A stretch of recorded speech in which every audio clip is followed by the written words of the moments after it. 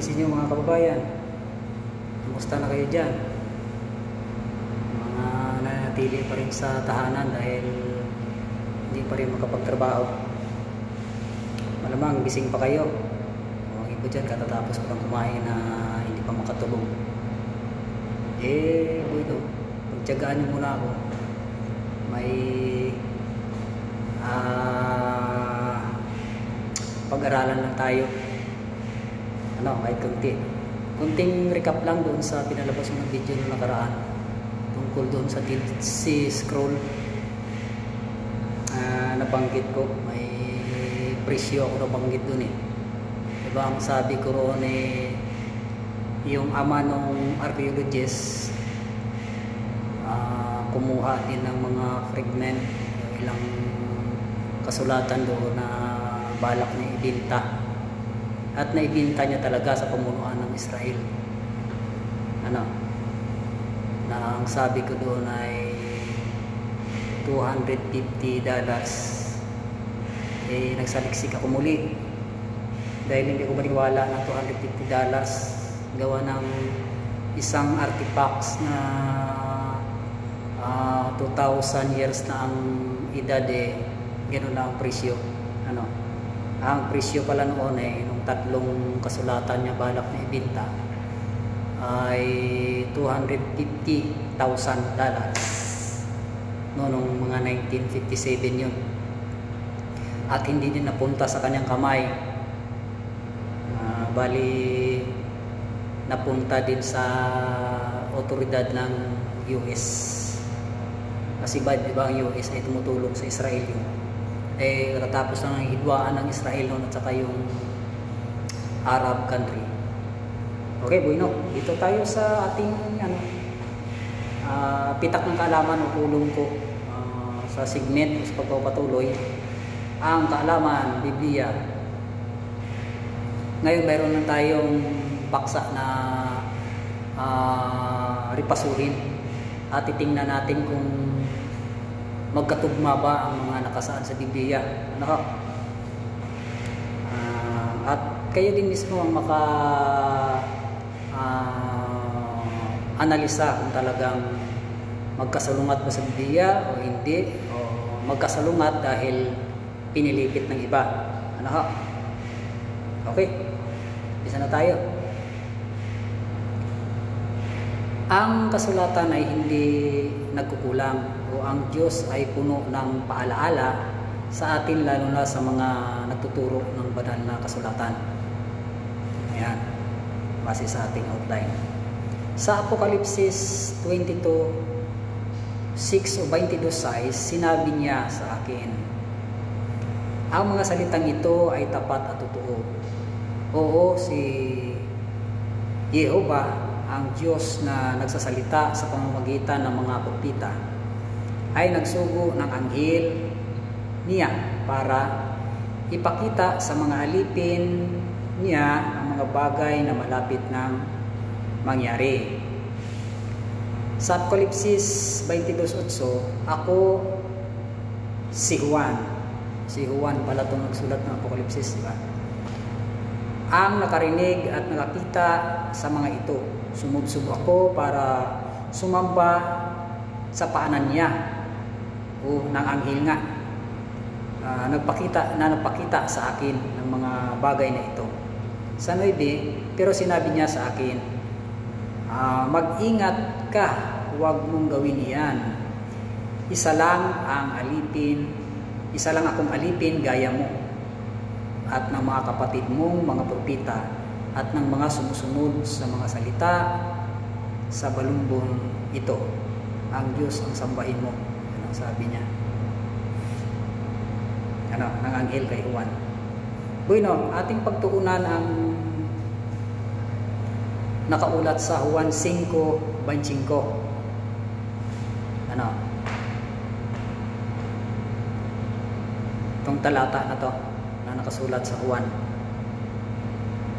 na tungkol sa mga patay na bubuhayin muli. Bueno, ito ang nakaulat. Sinasabi ko sa inyo, nagsimula na ang panahon kung kailan maririnig ng mga patay ang tinig ng anak ng Diyos. At ang mga nagbigay pansin ay mabubuhay. Sa 28, huwag kayong mangmang rito. Dahil darating ang panahon na ang lahat ng nasa mga libingan ay makakarinig sa tinig niya sa 29 at mabubuhay silang muli. Ano, malinaw?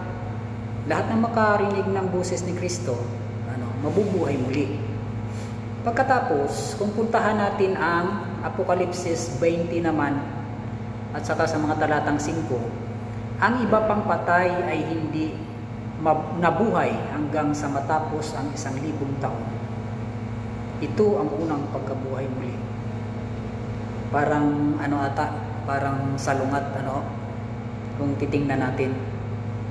Ano, kasi sa Juan 5.25, bubuhayin lahat pag nakarinig kay sa tinig ni Kristo eh. Pagkatapos dito naman sa Apokalipsis 25, ang iba hindi bubuhayin.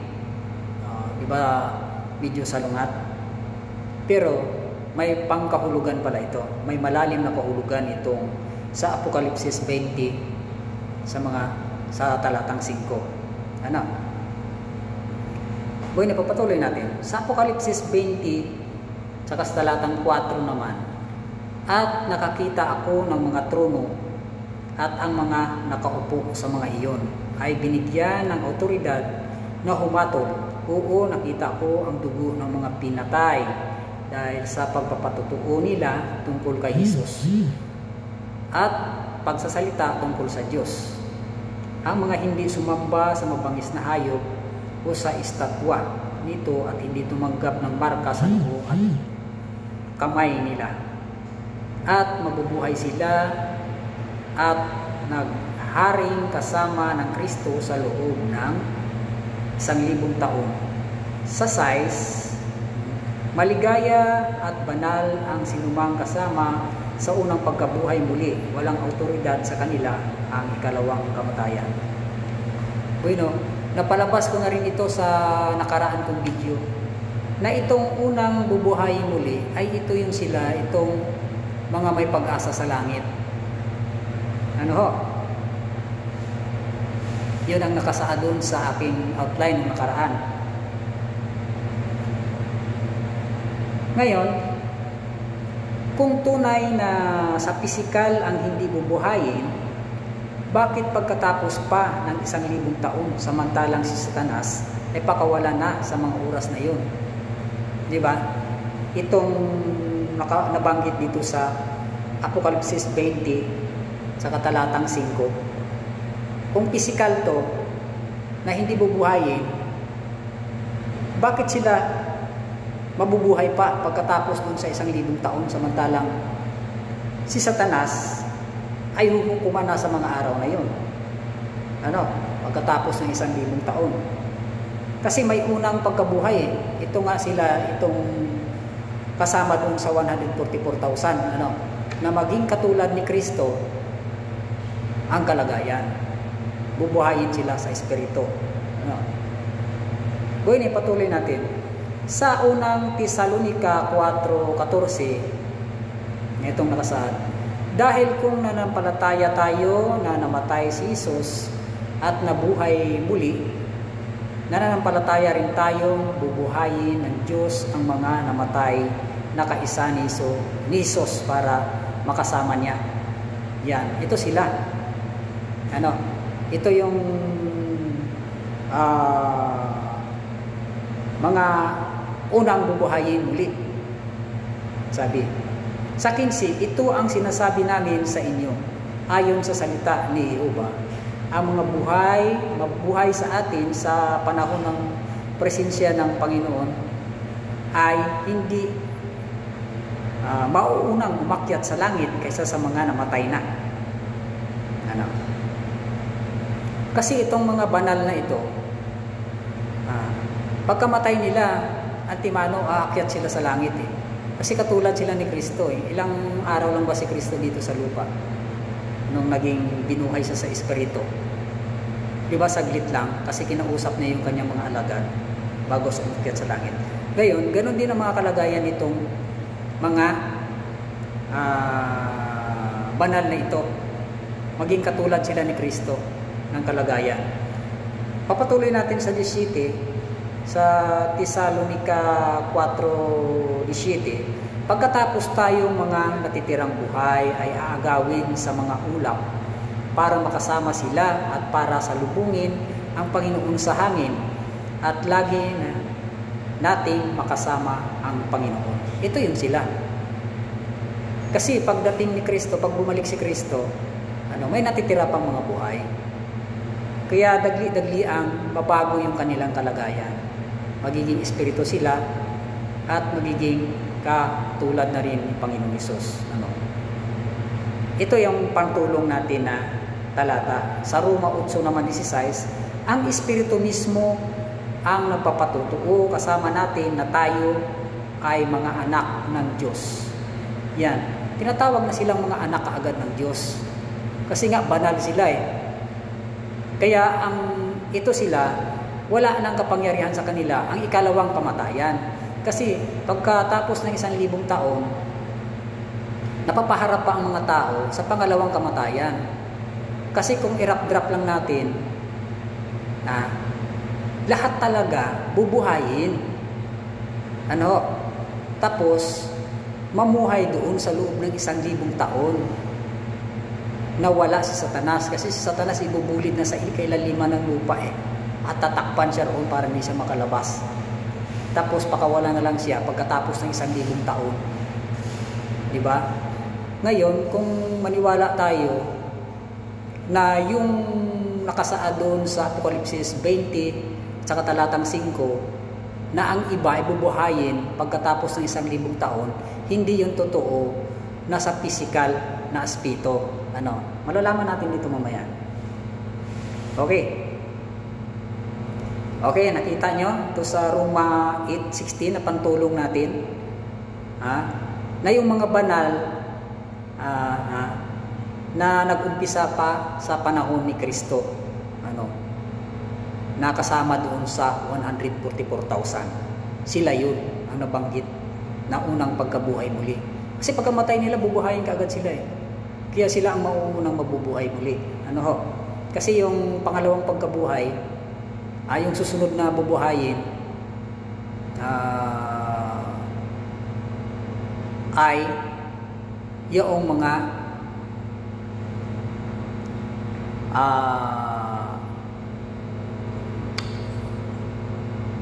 mabubuhay doon sa loob ng isang libong taon. Ano? Kasi, ha, ito ang nakasaad sa awit. Ano ho?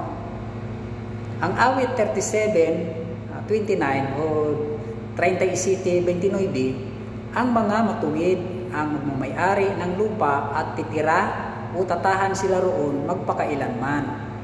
Ito yun. Hindi yung may pag-asa sa langit kasi bukod sila, bukod din tong may mga pag-asa sa lupa na mamuhay doon sa loob ng isang libong taon. Ano? Doon sila huhukuman. Hindi yung hukom na isang pitik lang na daliri, ng daliri, huhukuman sila.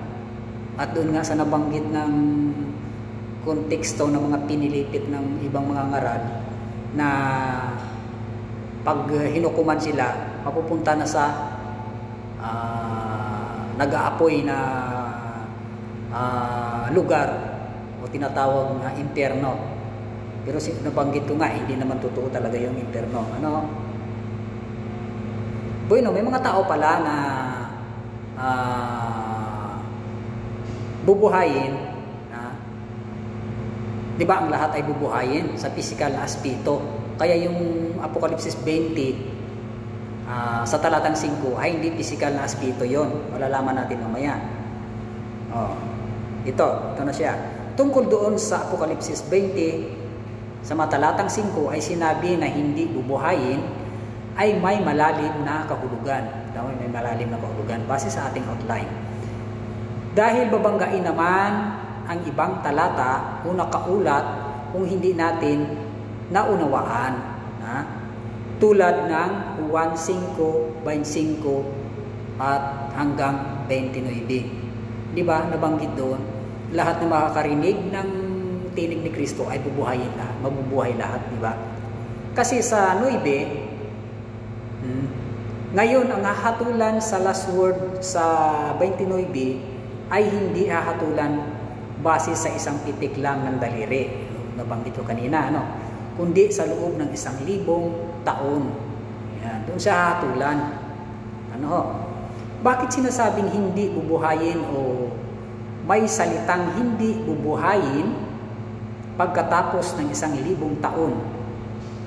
Dahil kahit uh, buhay sila sa pisikal, itunuturing pa rin silang patay dahil sapagkat oh, dahil sapagkat patay pa sila sa kanilang pagkakamali at kasalanan. Ito pala 'yon. Ano ho? Hindi sila masasabi natin na na uh, bubuhayin sila sa pisikal Uh, pero, itinuturing pa rin silang patay dahil uh, sa kanilang pagkakamali at kasalanan. Ano O pag diniritso natin, dahil patay pa sila sa espiritu, sa isang salita. Ano At matatagpuan natin ang pantulong na talata sa Episo 2.1. Ayun na ang tao pala uh, pag uh, uh, patay pa sa espiritu dahil sa kasalanan ano dahil hindi pa siya naturuan hindi pa siya nagiging perpektong tao ano hindi pa uh, napuspos ng kaalaman ano ay maituturing pa rin, pa rin siyang patay yun siya yun ang tinutumbok ng Apokalipsis 20:5. Ano? Matatapos muna ang isang libong taon para ang mga buhay na ito ha, ay maging sakdal na mga tao. Doon sila sa loob ng isang libong taon mamuhay pa. Kasi hindi pa sila pwedeng tawagin na anak ng Diyos eh. Ano, hindi pa sila puspos ng kaalaman. Ano ho? at hindi pa naibalik yung kanilang kasakdalan. No. Uh, unti-untian silang ibabalik sa kanilang kasakdalan. Ano? Base sa Apokalipsis 21, 2, 3, 4 at 7. Doon sa mga puntong iyon, tayo ang mga binuhay na mamuhay sa loob ng isang libong taon na tawaging anak ng Diyos dahil nalinis na tayo maging sakdal na nga na tao tulad ng kalagayan ni Adan una siyang binuhay. Ayun. Oh. Pagkatapos ng isang libong taon, no, masasabi na tayo na anak ng Diyos kung hindi ka maguguyo uli ni Satanas. Kasi sa loob ng isang libong taon eh, pakakawalan pa rin si Satanas ah. O ilan pa ang maguguyo niya ron? Ano, sindami pa rin ang buhangin. Anong mangyari sa kanila? Babaan sila ng apoy at mamamatay sila. Ang kamatayan na yon, ibig sabihin nun, ihahagis sila sa dagat-dagatang apoy. Dahil ang dagat-dagatang apoy ay simbolo ng kamatayan. Doon sa kamatayan, doon namang sama-sama ang mga uh, taong makasalanan at lalo na yung bulaang propita. Yung bulaang propita kasi, uh, pagkamatay nila, hindi na sila bubuhayin talaga. Ano ho? Natural. Ha? Natural. Kasi nga nagturo, nagtuturo sila ng kamalian sa mga tao eh. Pinilipit nila ang katotohanan, pinilipit nila ang layunin ng Diyos eh. Oh, natural, makatuwiran lamang ang Diyos na hindi na sila bubuhayin. Kasi base dun sa talata, ha, doon na magsama-sama si Satanas at saka may yung mga taong papatayin doon sa pangalawang kamatayan. Doon sa kinaroroonan ng mga bulaang propita at ng babangis na hayop. Ano ho? Kasi, nang isauli tayo sa kasakdalan bilang tao, ito ang layunin ng Diyos na matutupad at hindi masisira. Ayun. Yun talaga ang layunin ng Diyos. Na ang tao mamuhay dito sa lupa magpakailanman. Kasi yun ang ang sinabi niya eh. Ha? Yung sinabi niya doon sa Isaiah 55:11 ano? Saka sa Isaiah 14:24 na? Kung ano yung sinabi niya yun ang matutupad. Ano? At hindi babalik ang salita niya sa kanya na walang ano walang resulta ano pero yung mga banal na talaga na na namatay ay maging uh, espiritu sila tulad ni Panginoong Hesus at kasama doon sa mga tapat at maingat na alipin na madatnan pa. Ah, niya na buhay. Ano, tulad ng nabasa natin sa unang Tesalonika 4.17. Ayan, malinaw. Hmm. Ano? Sana malinaw sa inyo mga kababayan. Yun lang. Ano? Kaya sinipi natin to kasi baka magkabangga-banggaan yung mga ano, hindi, hindi natin maunawaan. Ano? Magkabangga-banggaan yung mga talata eh. Pag hindi natin sinundan yung layunin ng Diyos, ano, maligaw tayo. Ano? Ah, paano?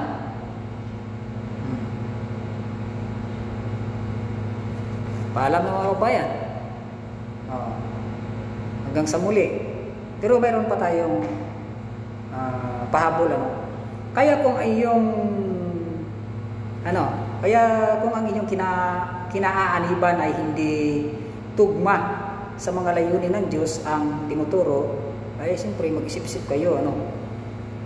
Ang Apokalipsis 18:4 may babala, may babala doon sa Apokalipsis 18:4. Ano? Anong sabi doon?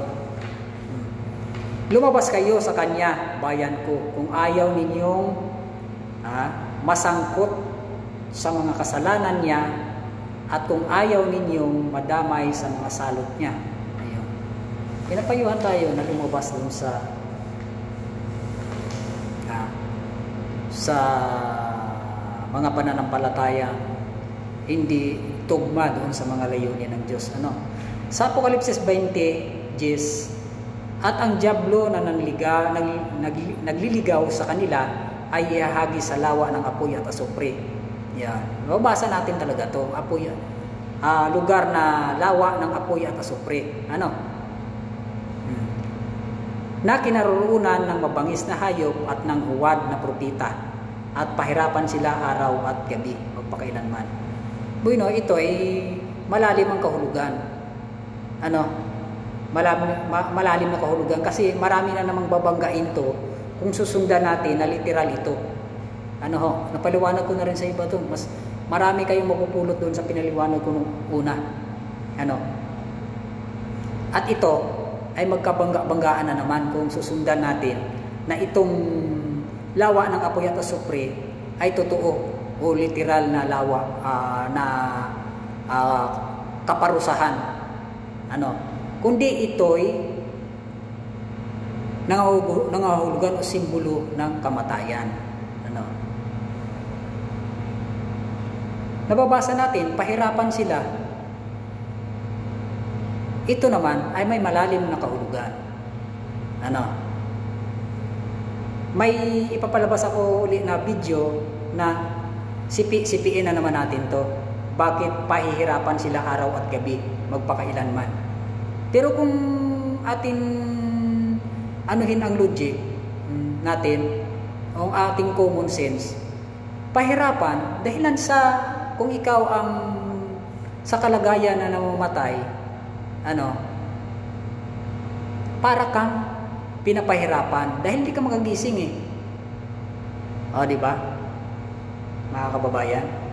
Pag-isipan natin ang mga salitang iyon. Kasi kung totoong na literal ang pagpapahirap doon sa mga dagat-dagatang apoy, ay maraming masisira na mga talata.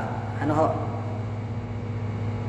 At ano ba naman si mga kasalanan tao? Espiritu ng tao, eh, pagsama mo doon sa espiritu ni Satanas, makapangyarihan yon. O, kung pairalin lang natin ang ating uh, common sense, di ba? Eh baka maligaw tayo, ah, mga kababayan, sa lawa ng apoy na ito. Diba? Ito'y nanguhulugan ng kamatayan. Base doon naman sa Apokalipsis 20, 14. Ano? Dahil mga kababayan, may pagtulong naman ng mga talata dyan. Tulad nito sa Roma 6.23, ang kabayaran ng kasalanan ay kamatayan. Yun lang talaga. Kabayaran ng kasalanan ay kamatayan. Ano? Okay, maraming salamat. Eh, sana may napulot kayo sa mga ah, inilatag ko sa inyo. Yung mga hindi nakahabol na pag ah, ko, eh panoorin nyo na lang. I-replay ko naman to dyan sa, dito mismo sa Facebook ko. Ano, yung mga nakasulyap lang pagkatapos nyo pagkatapos na hindi ko naman kaibigan sa Facebook, pwede nyo balikan sa Kutub Lerny Domingo. Saka sa YouTube, sa Lerny Domingo. Ayun, may channel ako doon sa YouTube. Eh. Marami na rin doon na nandoon ng mga ano ko, mga column ko. Marami kayong mapupulot doon. Sige, maraming salamat sa inyo. Yung sa muli, marami pa akong papalabas. At ating unawain yung mga Biblia na pag ang iba'y ah, nagpapaliwanag, nagkabangga-banggaan. Kaya ayaw nating masira ang ano, ang sa tingin ng iba yung layunin ng Diyos. Kasi mapulaan ng mga ano eh, mga hindi naniniwala na may Diyos eh. Okay, maraming salamat sa inyo. Magandang gabi.